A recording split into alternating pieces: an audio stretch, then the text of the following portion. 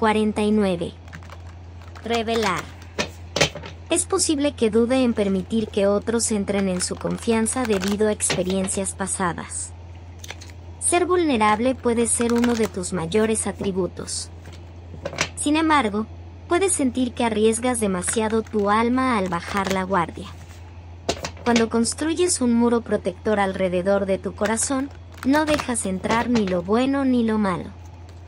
Acabas perdiéndote muchas cosas porque tus miedos te impiden sentirte seguro.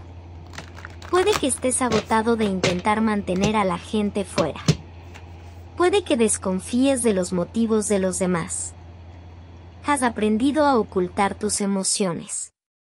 Es hora de aprender a abrazarlas. Es hora de revelar la verdad de quién eres. Los problemas de confianza pueden estar en primer plano.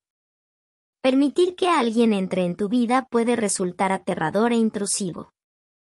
Intentar abrirse después de haber sido herido puede resultar abrumador. Cuando eliges conscientemente ser honesto y abierto, puedes cambiar tus resultados para mejor. Permite que tu intuición te cambie a ti. No dejes que la negatividad del pasado dicte tu futuro. Da pequeños pasos para revelar más de lo que eres. Esfuérzate por hacer algo cada día que te obligue a sentir.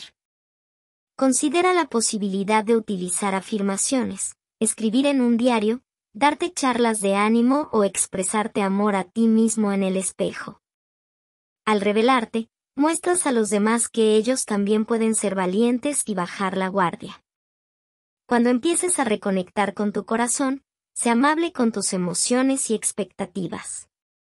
Es posible que hayas reprimido tus sentimientos durante algún tiempo. Puede que tengas un crítico interior muy ruidoso. Practica mostrando tus sentimientos, poco a poco. Sé consciente de dónde has proyectado la culpa o tus opiniones sobre los demás. Reconoce tus emociones y sé consciente de que pueden cambiar constantemente.